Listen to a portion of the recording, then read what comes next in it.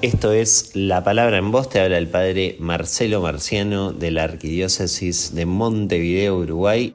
Yo te invito en el día de hoy a que puedas también rezar desde lo más profundo de tu corazón y decirle, Señor, ayúdame a hacer tu voluntad, ayúdame a poder hacer aquello que el Padre quiere en mi vida, ayúdame a abrir mi corazón a tu amor.